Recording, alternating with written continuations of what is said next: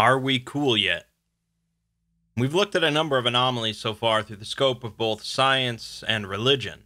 Anomalies with origins beyond our planet or reality. Anomalies created through foolish accidents or from ancient rituals. What we haven't really looked at, though, are anomalies created through the scope of art. Art is a subjective concept, one heavily divorced from the cold, clinical nature of the SCP Foundation, and so that's why we'll be discussing a group of interest focused on anomalous art. Are we cool yet? Like many groups in the SCP universe, AWCY exists as yet another fringe group that meddles with paranormal forces for their own goals. It just so happens that their goals consist of little more than creating really weird art pieces many of which end up in Foundation custody. As usual, I'll be primarily looking at a handful of these contained exhibits to give us a better idea about the group, but let's see how they operate. Unlike many groups, Are We Cool Yet have no centralized leadership, no headquarters, no strict rules or traditions, and no official lists of members. Really, all it takes to be a part of Are We Cool Yet is to say that you are part of it, and to make anomalous art. Anomalous art is exactly what the name implies, and we'll get to some examples in a bit, but not all anomalous artists are part of AWCY. AWCY members tend to make art that is both highly visible to the public and often highly dangerous, leading some to decry the group as art terrorists. A potential origin for the group is outlined in the tale Birth of the Cool. During the 19th century, the realm of science began to slowly understand the paranormal, and certain artists of the world took notice, beginning to create their own paranormal art pieces. By 1870, Paris was the center of anomalous art, and the debate about whether it should even exist. In 1874, the Salon des Magnifiques refused to allow any works of a phantasmagorical nature to be displayed at their grand exhibition so a group of anomalous artists went off and started their own exhibition, held at the same time. The show was called Sommes-nous devenus magnifiques, which translates to Have we become magnificent? It was the talk of the town for months, and it was clear that this type of art wasn't going anywhere. This paranatural exhibition would be held every 10 years in different hidden locations, and the world of anomalous art would continue to grow. There would be a schism in this world, though, that came to a head at the 1924 exhibition between two anomalous artists. One was a French surrealist, and the other a Mexican artist who embraced the more accessible and realistic side of anart. The two debated for days before the opening of the exhibition about the relation of the artist to their work, the importance of context, of faith, knowledge, law, free will, God, the state, and so on. It seems that as the exhibition opened, they had come to understanding one another, and a photo was taken of them standing in front of the doors, with one leaning in to whisper into the other's ear. For decades, people speculated what might have been said there, or whether it was a challenge, or an affirmation of their understanding one another, or a reminder of why they were there, or an expression of amazement at how many had come to see their exhibition. According to one reporter who claims that he was close enough to hear, it was all of those, summed up in four words. Are we cool yet? Whether that's the actual origin of the movement or just a fun anecdote is up in the air, and really doesn't matter that much. The point is that for decades, members or claimed members of AWCY have been creating art pieces with the goal of shocking, amazing, and changing the world at large.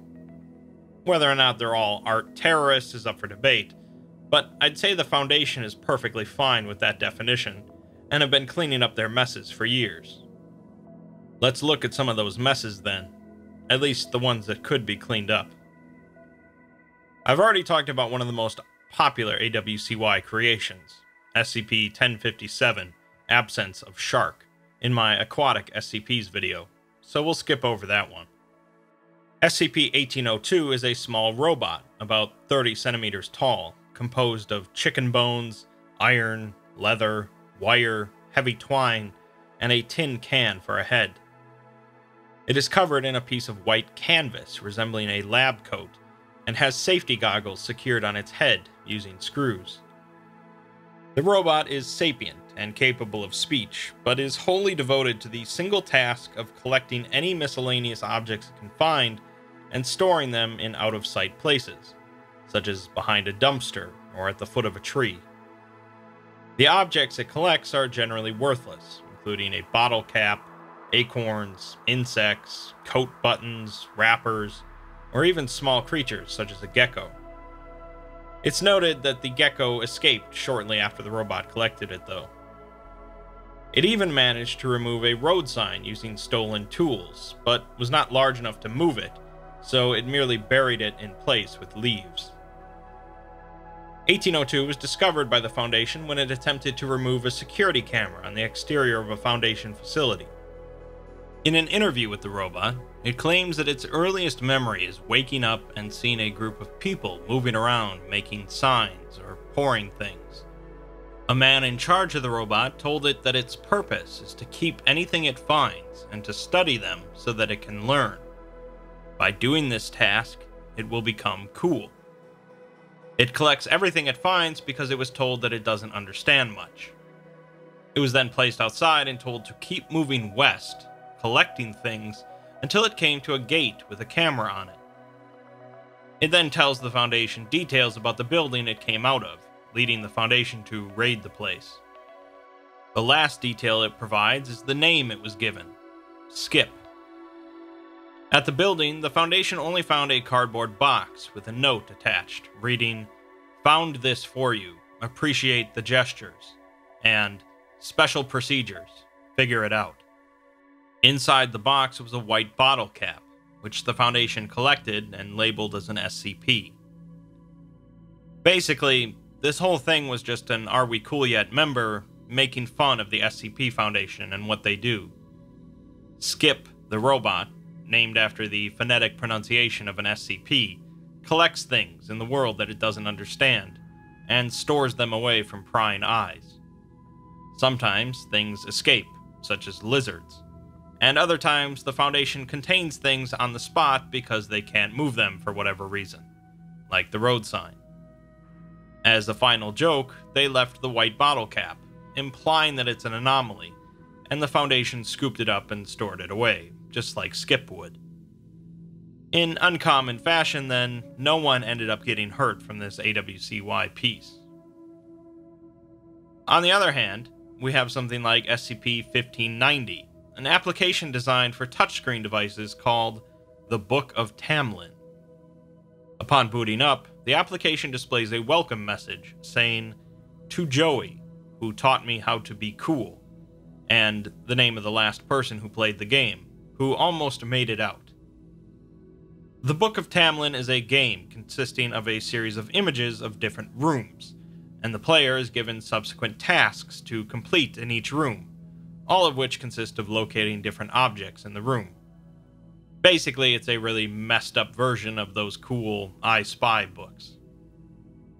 The game consists of anywhere between 7 and 43 rooms, and the player also has a time limit between 1 and 12 minutes.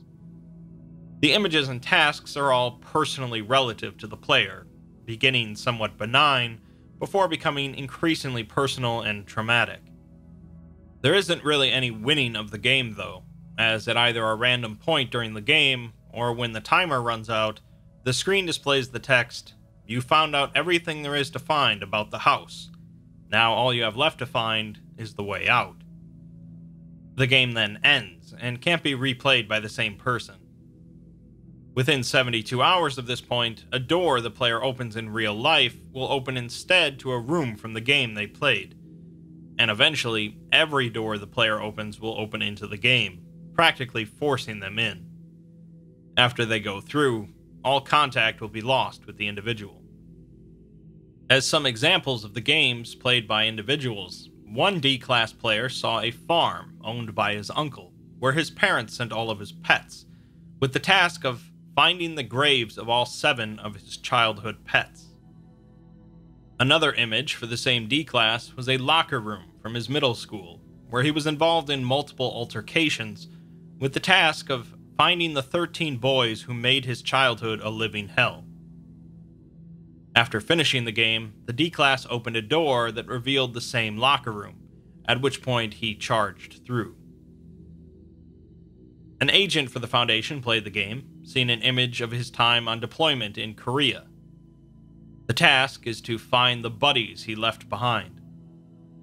The door he opened in real life opened to the same scene, and he willingly entered with survival gear. Not all participants have entered willingly, as one female D class was sedated and forced through to confront her childhood trauma.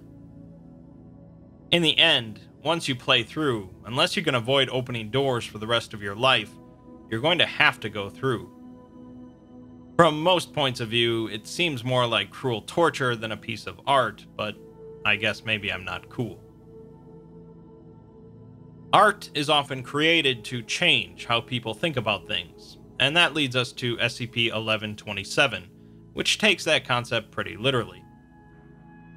1127 are a series of anomalous short films, primarily composed of scenes taken from other films and videos.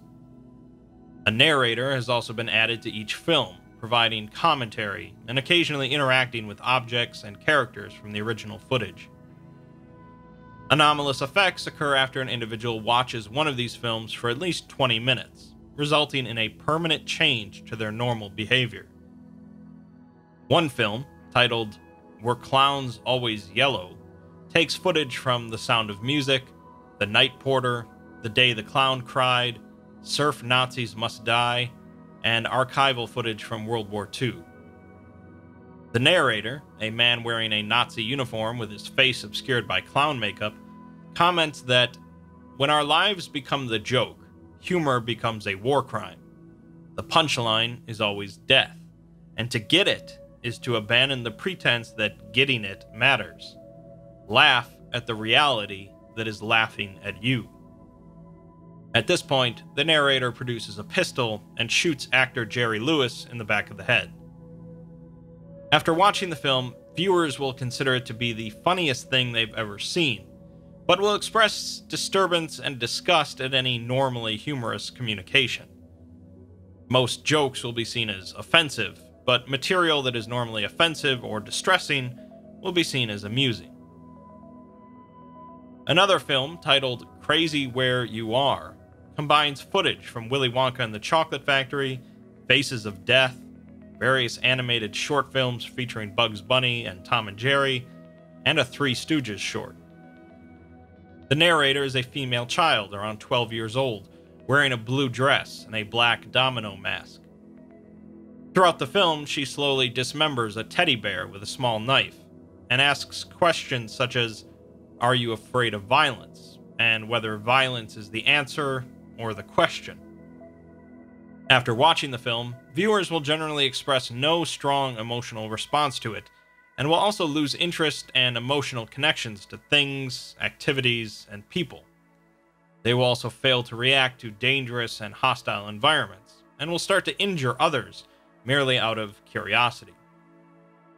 Another film is especially dangerous, as viewing it is liable to make viewers compulsively perform illegal and perverse activities. Since these films are popping up randomly around the internet, in video stores, and in theaters, you can see how AWCY gets pretty easily labeled as terrorists. Speaking of compelling people to do things just for the sake of being cool, there's another app, SCP 1883. This one's pretty simple, as the app just displays a user's score, and every 5 to 9 hours updates with a new task that they can perform to earn points. It's not really clear how the app can tell when a user has completed a task, but there is a mild compulsive effect that encourages players to continue performing tasks. This effect increases when numerous players gather together to compete, and they begin to follow informal hierarchies based on each other's scores. If a task involves communication with another person, the app will somehow spread to that person's phone, making the app fairly dangerous, as of course the tasks become pretty worrisome. Looking at a sample list of tasks provided, it starts out fairly basic, awarding 1 point for saluting the sun, and 7 points for finding a horse and watching it for 30 minutes. 3 points for banging your head against a wall, and 10 points for telling a stranger what you really think about them. If you manage to turn gold into lead, you get 999 points, which is pretty cool. The instructions sometimes include text that isn't a task, such as If Babe Ruth was that great, why did he need a bat?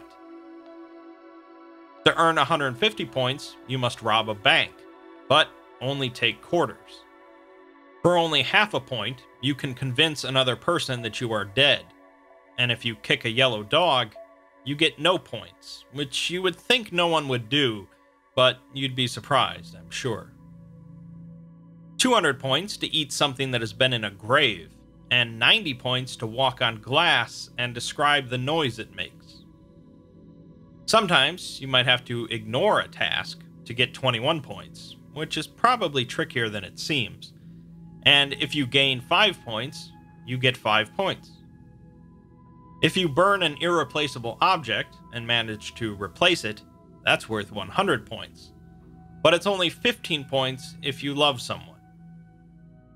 Sometimes breathing might actually cost you 200 points.